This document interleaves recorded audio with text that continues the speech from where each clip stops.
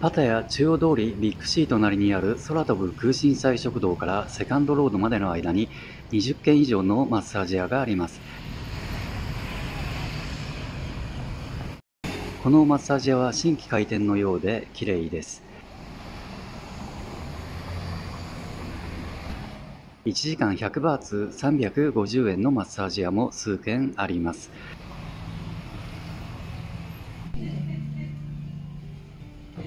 このお店も足裏マッサージとタイマッサージは100バーツ350円です。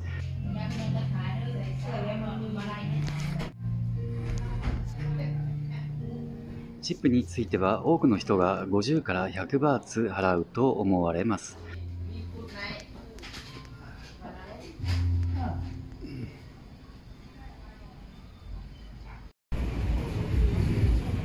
短期での海外旅行だったらパッと使った方が楽しいです。長期滞在となると旅行気分で使ってたら私みたいなのはあっという間に破産します。お金持ちじゃない普通の人の日本での生活を考えてみてください。多くの人にとってはファミレスでの外食も娯楽の一つなのでは。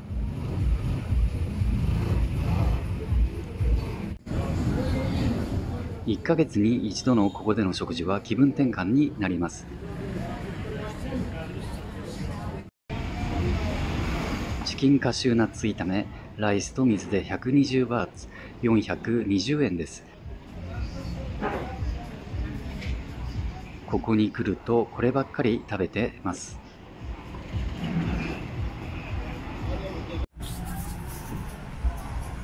夕飯を食べ終わったらさっさと歩くようにしています。実際はどうだか知りませんが食後に歩くと血糖値の上昇を抑えられる気がします。お前は健康健康とうるさい。俺はうまいもん腹いっぱい食って太く短く生きる。と言われそうですがそういうおおらかな人の方が長生きすると思います。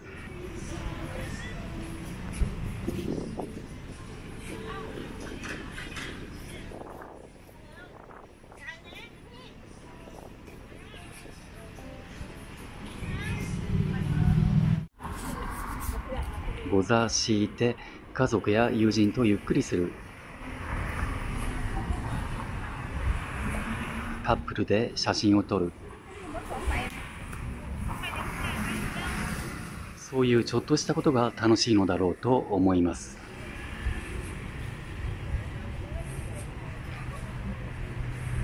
私は人との深い関わりが苦手で、どちらかというと煩わしい付き合いをするぐらいなら、一人の方が気楽で良いです。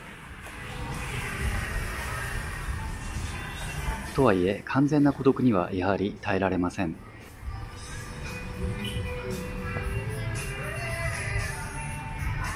私みたいなのにはパタヤが合ってます。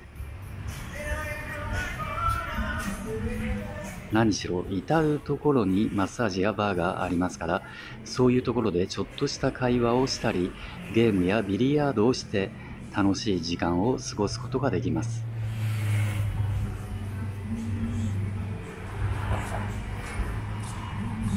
突然話が変わりますがビーチロードと中央通りとの T 字路を角に日本人経営と思われるラーメン屋がオープンです。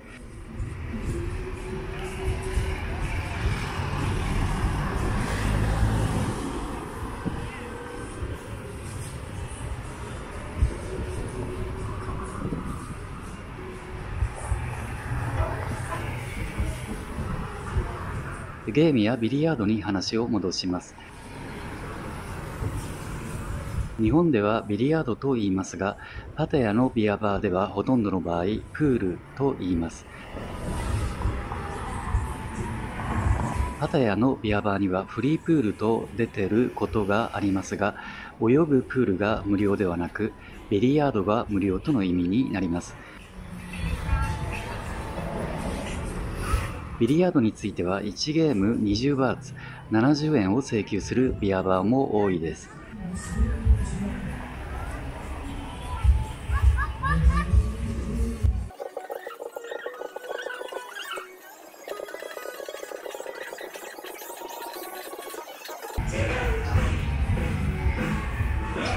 ということで、一人が気楽で良いと思う私ではありますが、週に2、3回はビアバーにて孤独解消というか楽しい時間を過ごしてます。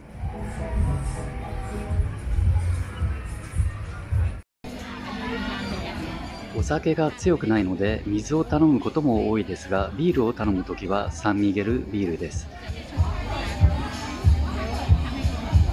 フィリピンで飲んで以来すっかり気に入りましたサンミゲルライト85バーツ298円ですがお店としては15バーツチップで100バーツ350円の支払いを期待していますバー女性に飲み物をおごる場合は、ここでは150バーツ、525円です。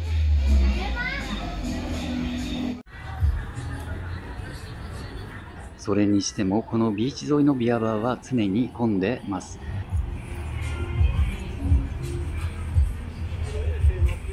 海沿いを歩くのは気持ちよいです。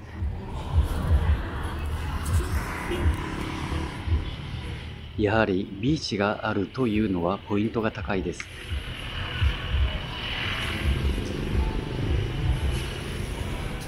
パタヤにビーチがなかったらバンコクの方が飽きないし全然面白いと思います。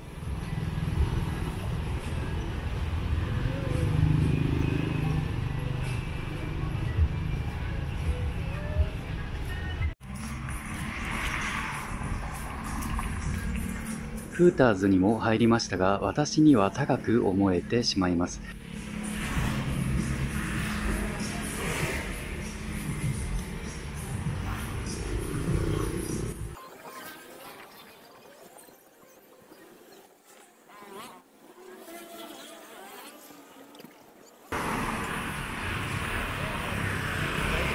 偽りのない日常的な娯楽ということで、いつもの場所にやってきました。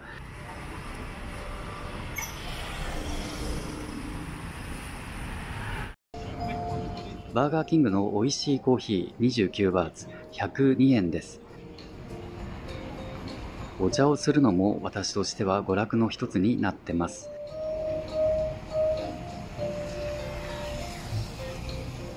どうでもよいことですが、日本ではタコスと言いますが、タコだとほとんどの人が8本足を想像するからだと思います。タコを売る小さな店がパタヤにはいくつかありますので、今度食べ比べてみたいと思います。